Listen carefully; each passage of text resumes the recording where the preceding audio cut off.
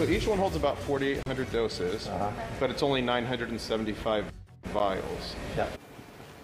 A new day in the battle against COVID 19. The first doses of the vaccine have now arrived in Illinois. Good afternoon. Thanks for joining us. I'm Ben Bradley. And I'm Julie Unruh Lourdes Duarte has the day off. The U.S. death toll topped 300,000 from COVID 19 today, just as the rollout of vaccines gets started. Here in Illinois, health officials reporting more than 7,200 new confirmed and probable cases, as well as 103 more deaths. Since the pandemic started, 14,394 Illinois residents have lost their lives. The case positivity rate, though, continues to decline. It's now down to 8.7 percent.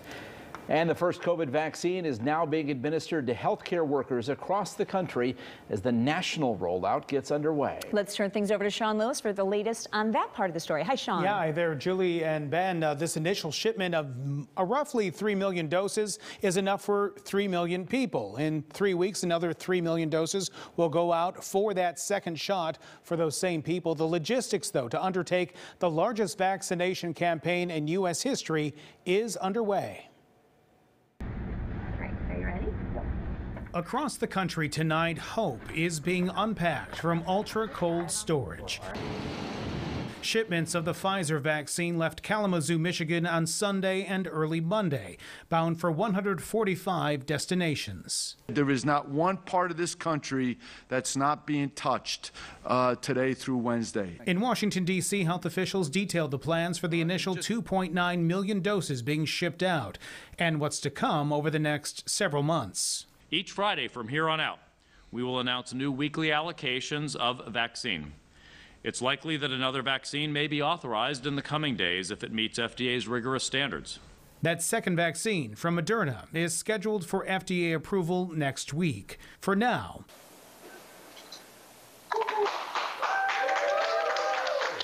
the first vaccination in New York State and possibly the first in the country outside of a trial went to a Long Island ICU nurse named Sandra Lindsay. I hope this marks the beginning to the end of a very painful time in our history.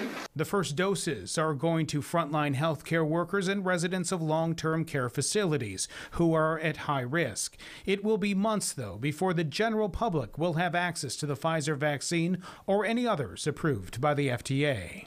This is the light at the end of the tunnel, but it's a long tunnel. And we need people to continue to be, do the right thing and the smart thing all through the holiday season.